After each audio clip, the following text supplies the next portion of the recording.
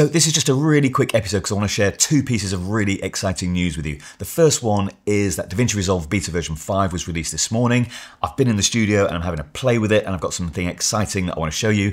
And the second piece of exciting news is that Motion VFX have got a huge sale on at the minute. So I'm going to show you some of my favorite things in there, how to install it and what the deal is. So first of all, let's take a look in DaVinci Resolve the project I did last week was all about Film Look Creator, and in there, this is the exact project I was working with. Uh, I'll put a link to that episode in the description and put it up here or wherever YouTube puts it.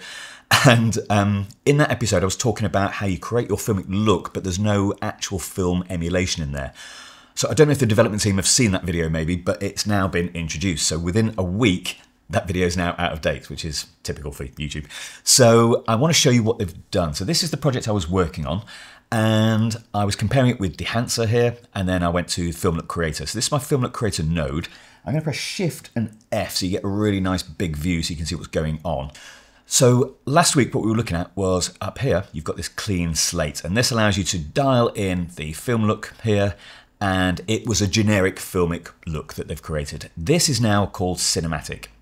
And this new pull down menu here now reveals some other elements. And in here, we've got four other looks. So we've got this Rochester one, we've got Akasaka, and we've got Elated, and we've got Vintage. And each one of these you can play around with the different properties. Now, I don't think it's any coincidence that Kodak's headquarters just happens to be in Rochester and that Fujifilm headquarters is in Akasaka. These look very similar to those kind of filmic looks. So what they've not done is taken the exact stock name, but I would be sure that Akasaka is a nod to Fuji and Rochester is a nod to Kodak. So here is the let's call it the Kodak look. And I can now go in here and make any adjustments I want. I can play with the split toning. All this I covered in last week's episode. So I really just want to update you with that. This is a fantastic update. Uh, let's just have quickly compare that. So this was the Dehancer one that we did last week. And this is now with the Kodak look. Let me just reset that. And then we'll just go down here to our custom and dial in Rochester. Full strength on there. And let's compare that to the Dehancer. There we go. So you can take your own judgment on that, but this is a really great improvement. So this is beta version 5, just released today. So for those of you who follow my channel for a while, you'll know that I do all the graphics on YouTube and my production work using Motion VFX, and they've got a huge sale on them in it. They have basically got a library that just keeps growing. So they've got over 60 packs now that work with DaVinci Resolve, and until this Monday, so you've not got long, they're doing 30% discount. You need to click the affiliate link in the description, type in the code HUGE30 at the checkout, and you're going to get 30% off every single pack on their website. These are the ones that I've got. I've got loads of them in here. I use them all the time. These are some of the more garish ones. This is the M-Title Film. I really like these ones actually. um, they've got some really cool ones in here, but I've just installed a new one called M Lowers Universal. And what I like with this one is they're actually quite simple but sort of classic. So these are great for the sort of work that I do. I just want it to look a bit more subtle. But they've got some cool things in there as well. So you've got little social media icons and all that sort of stuff. So let's take a look. What you need to do is go to the website and choose the ones that you want. So you can, you can have a preview on the website as well. So it's really easy to navigate around. And once you've purchased your packs, you load this thing called M-Installer. And what that does is allow you to control the packs that you've purchased with the licensing. And this actually installs them into DaVinci Resolve for you as well. So each pack can be installed on two devices, that could be a Mac or PC, and this is the new one I've just got, MLOWERS Universal. So I've only installed it on one of my two devices so far, and it appears automatically in DaVinci Resolve here, it installs itself. I can preview these, so to preview you need to go up here and make sure your hover scrub preview is on.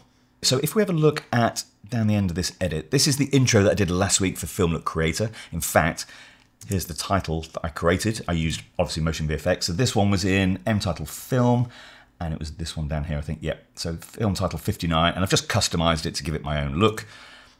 And it looks really great. But let's just add a classic name super using this new one, MLOWERS Universal. So I've chosen one in advance here. I'm going to bring it down, just drag and drop it. Now the engine that's animating this is all done in Fusion, but I don't know how to use Fusion that well. I don't need to either. All I've got to do is highlight the title, and the inspector up here allows me to control it. The back engine is obviously Fusion, but I don't need to worry about that. So let's just change the title up here a little bit. I don't want to be called a business strategy coach. Let's call it Darren Mostyn. I'm going to change, let's just bring the animation on full so I can line it up properly. I'm going to change the color here and I want to make it bolder. You can change the font, you can do whatever you want. Oops, let's just close that down and let's make it extra bold and let's change the scaling. You, all the parameters are totally customizable.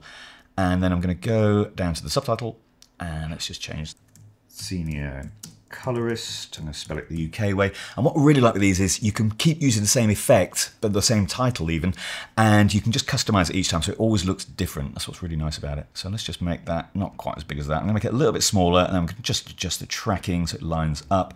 And I want to move it over here. So I've already got my transform on, or you can move it using the content positioning here. Drag and drop that over and let's have a quick look at that animating. And you can decide whether it animates in or out as well up here. That looks great. And if I want to change the duration, you just extend it on the edit page. Really easy. They also do LUTs and they do overlays and little film scratches and all that sort of stuff. So it, there's a lot more in there than just titles. So to take advantage of this, you've only got until Monday. You can get 30% off. Click the affiliate link in the description. Choose your packs, type in Huge30 at the checkout, and you're going to get your discount. So I hope you enjoy the new Film Look Creator features. Get yourself a bargain on the Motion VFX website. Look after yourselves, and I'll see you in the next episode.